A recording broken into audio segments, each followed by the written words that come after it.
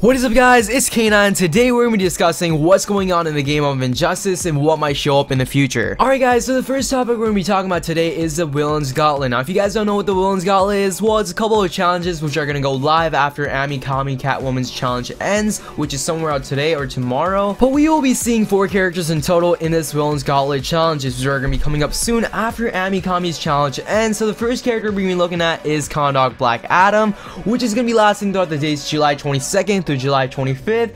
Then we have the character Antimatter Sinestro. So this character will be lasting July 25th through July 29th. Then we have the character Red Lantern Hal Jordan, July 29th through August 1st. And last but not least, guys, Apocalypse Darkseid, August 1st through August 4th. So these challenges in total will be lasting two weeks. We won't be seeing the characters Teen Titans Raven and Earth 2 Solomon Grundy coming up anytime soon until these challenges end. But I'm to be honest with you guys, I actually like the Villain's Gauntlet because it gives the players another chance to promote the characters and obtain them if they have not yet. So next thing we're going to be talking about is the online battles. MetaHuman Flash has been put up as the next multiplayer season reward for players to rank up 3% or higher. So good luck on that. The next thing we're going to be talking about is the in-game booster pack. So if you guys don't know the Icebreaker pack, well it's your last chance to open the pack and this includes the characters such as Bane Luchador, Killer Frost, and Killer Frost Regime. But as soon as this pack goes away, hopefully we could see the Alien Invasion and the Sorcery pack after it. Either of that the most wanted pack in your stores is 25% off. So the next thing we're talking about is the in-game crashes. So this has been a big thing ever since the 2.10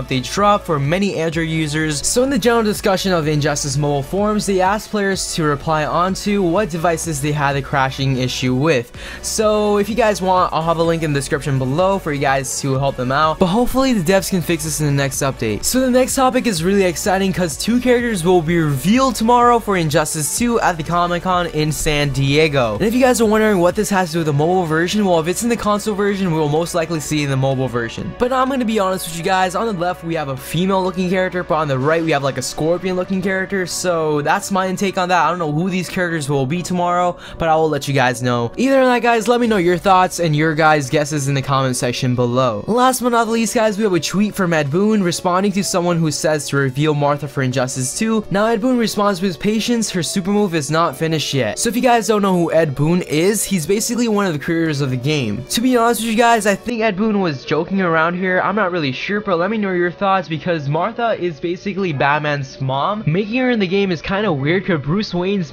parents are basically dead. But yeah, guys, that wraps it for today's video. Let me know your thoughts on any topics I talked about in this video. Either that, guys, it is your boy K9 Unit, and I'm out. Love you guys. Peace.